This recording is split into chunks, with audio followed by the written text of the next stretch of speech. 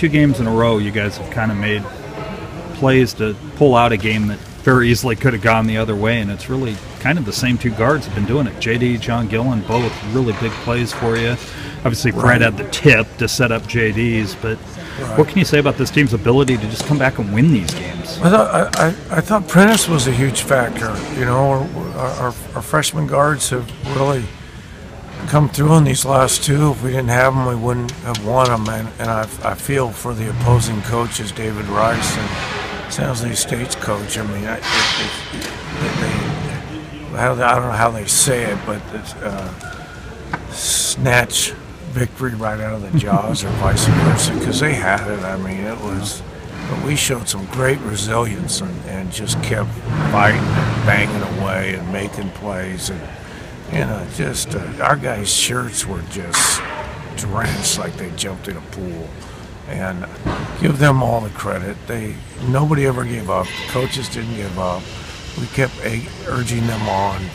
Um, they made a lot of mistakes but they played through them, and that's what it's all about. And I think these this week is a big defining moment in our season.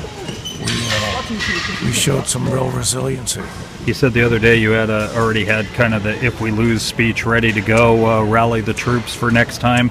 Were you thinking that again this time, or did you feel Yeah, a little more confident this time because they had done it just three nights earlier? No, I, I had that still written in my back pocket, ready to. But I mean, if this game didn't work out, it wouldn't have been surprising. I, I've told everybody that, you know, we were 26 point favorite last year, and we were six this year. I mean, coach has done a phenomenal job of turning this program around, and they have young guys. And uh, I thought just to match their intensity is very, very hard. And I thought we did, and at times more intensified. And it's just, it's just kind of poetic. I don't know justice. That's not the way to put it, but it's just crazy that they led the whole time and then they missed a layup to win the game. And JD doesn't get that ball. I mean, off a few, a few, you know, eight tenths of a second later. We were not even in overtime. It was really a lot of fun to be involved in that. There were so many highs and lows. It was great. You obviously careful to not foul there to get the steal at the end of regulation. How critical was that? Some teams would just put a guy on the line and take their chances. You guys obviously chose to go for the steal in the back court. Well, we knew that we had to foul, but we wanted to trap and then run through the passing lane um, on the first pass. And then if they caught it, we'd foul them then.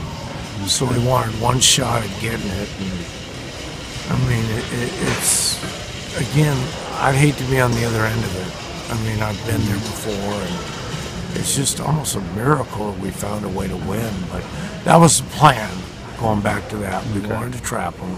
We wanted to run through the play and try to steal it. And didn't take that much time off the clock. We still had time. And um, they threw it away. So it was even better. But we were going to foul the minute they, they, they made one pass. How what? John Gillon, that layup at the end. I mean, obviously, you know he's a guy that's confident he's going to make that drive. I'm, I'm figuring he's probably thinking more about trying to get to the free throw line than actually get the layup. But he gets the layup, and uh, Well, two, Scores two- the winning two in points a row. again. Two in a row. And I think John, when he's on point and, and really concentrating, he can elevate above that rim and finish. I think lots of times he just goes in there hoping to draw the foul, and and when he goes in with an attitude that I'm going to make this and draw the foul, uh, he, he's, he's really effective. There's lots of times he goes in there, falls down, acts like he's fouled, and shoots the ball below the net.